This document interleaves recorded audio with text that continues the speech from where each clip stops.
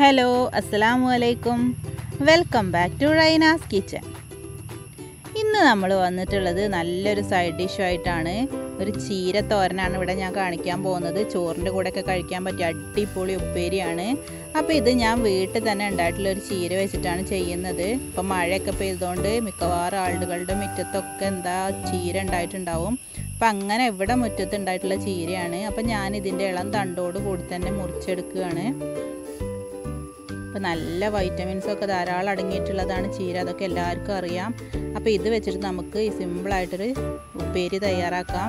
അപ്പോൾ ഞാനിവിടെ ഒരു കൊട്ട നിറയെ ചീര മുറിച്ചെടുത്തിട്ടുണ്ട്. ഇത് നമുക്ക് നന്നായിട്ടൊന്ന് കഴുകിയെടുക്കണം. നമ്മൾ ചീരയൊക്കെ പുറത്തുനിന്ന് വാങ്ങിക്കുകയാണെങ്കിലും അല്ലെങ്കിൽ വീട്ടിൽ നിന്ന് എടുക്കുകയാണെങ്കിലും നന്നായിട്ട് അത് വെള്ളത്തിൽ കാണിച്ചിട്ട് തന്നെ കഴുകണം.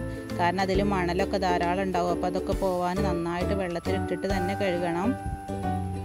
പിന്നെ ഓരോ ഇല ഇങ്ങനെ മാറ്റി മാറ്റി നോക്കണം. ചെറിയ പുഴുക്കളോ മറ്റതൊക്കെ ഉണ്ടോ നോക്കിയിട്ട് നന്നായിട്ട് വേണം കഴുകിയെടുക്കാൻ ഇതൊക്കെ കഴുകിയെടുത്തതിന് ശേഷം ഞാൻ ഞാൻ ഒരു ഓട്ടയുള്ള കൊട്ടയിൽ തന്നെ എടുത്തിട്ടുണ്ട്. ഇത് വെള്ളമൊക്കെ ഒന്ന് വാർന്നു പോവാനാണ്.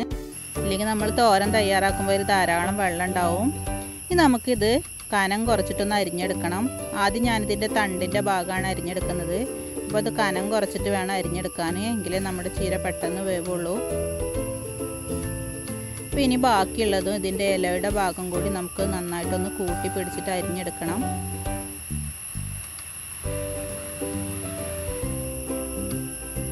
അപ്പോൾ ഞാനിതെല്ലാം അരിഞ്ഞെടുത്തിട്ടുണ്ട്. ഇനി നമുക്ക് ഉപ്പേരി തയ്യാറാക്കാം.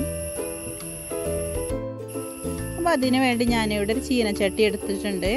അപ്പോൾ അതൊന്ന് ചൂടായി വരുമ്പോൾ നമുക്കൊരു മൂന്ന് ടേബിൾ സ്പൂൺ വെളിച്ചെണ്ണ ഒഴിച്ചു കൊടുക്കാം. എന്നിട്ട് അതിലേക്ക് നമ്മൾ ഒരു ടീസ്പൂൺ കടുക് ഇട്ട് കൊടുക്കണം. ആ കടുക് ഒന്ന് നന്നായിട്ട് പൊട്ടി വരുമ്പോൾ നമ്മൾ അരിഞ്ഞു വെച്ചിരിക്കുന്ന ചീര കൂടി ഇതിലേക്ക് ഇട്ട് കൊടുക്കണം. അപ്പോൾ നമുക്ക് ഫ്ലെയിം ഒന്ന് കുറച്ച് കൊടുക്കാം.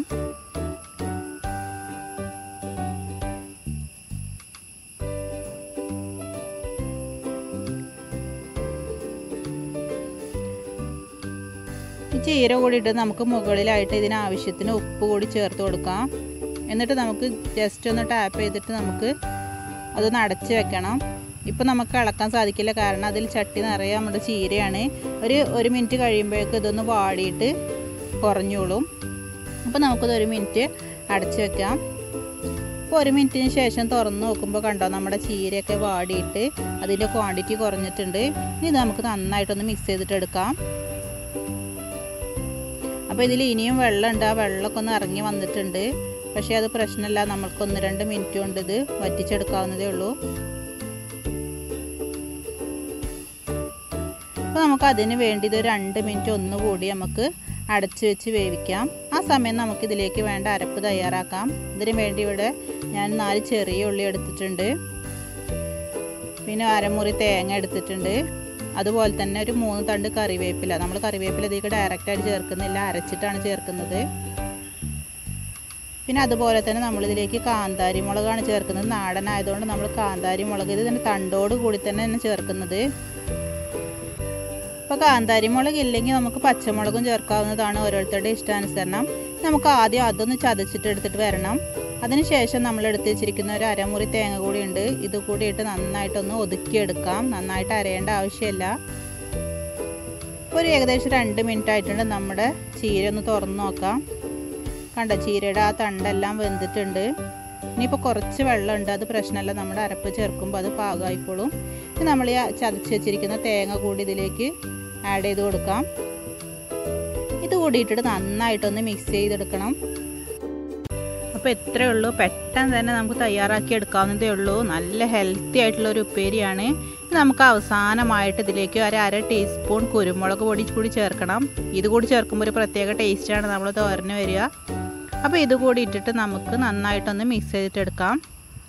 ഇത്രയേ ഉള്ളൂ. ഇനി തീ ഓഫ് ചെയ്ത ശേഷം നമുക്ക് വേറൊരു ബോളിലേക്ക് മാറ്റാം. കണ്ടോ നല്ല ഭംഗിയാണ് കാണാൻ നല്ല ടേസ്റ്റുമാണ് അപ്പോൾ എല്ലാവരും ഇതൊന്ന് തയ്യാറാക്കി നടക്കണം നമ്മളിതെല്ലാം വീട്ടിലുള്ള സാധനങ്ങൾ വെച്ചിട്ട് തന്നെയാണ് തയ്യാറാക്കിയിട്ടുള്ളത്. ഇനി പുറത്തുനിന്നൊക്കെ ചീര ചുവപ്പ് ചീര അല്ലെങ്കിൽ പച്ചച്ചീര വെച്ചിട്ടും ഏത് ചീര വെച്ചിട്ടും നമുക്ക് ഇതുപോലെ തയ്യാറാക്കാവുന്നതാണ്.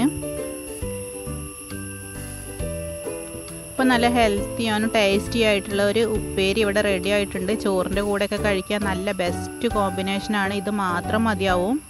അപ്പോൾ എല്ലാവരും ഇതൊന്ന് ട്രൈ ചെയ്ത് നോക്കിയിട്ട് നിങ്ങളുടെ ഫീഡ്ബാക്ക് ഒന്ന് മറക്കാതെ അറിയിക്കണം. അപ്പോൾ ഈ വീഡിയോ നിങ്ങൾക്ക് ഇഷ്ടമായി എന്ന് വിശ്വസിക്കുന്നു. ഇഷ്ടമായിട്ടുണ്ടെങ്കിൽ ഒന്ന് ലൈക്ക് ചെയ്യുക. അപ്പോൾ ഫാമിലിയും ഫ്രണ്ട്സും കാണാൻ ആഗ്രഹിക്കുന്നുണ്ടെങ്കിൽ ഒന്ന് ഷെയർ ചെയ്യുക. സബ്സ്ക്രൈബ് ചെയ്യാതെ കാണുന്നവരുണ്ടെങ്കിൽ സബ്സ്ക്രൈബ് ചെയ്യുക. കൂടെയുള്ള ബെൽ ബട്ടൺ കൂടി ഒന്ന് പ്രസ് ചെയ്യണേ.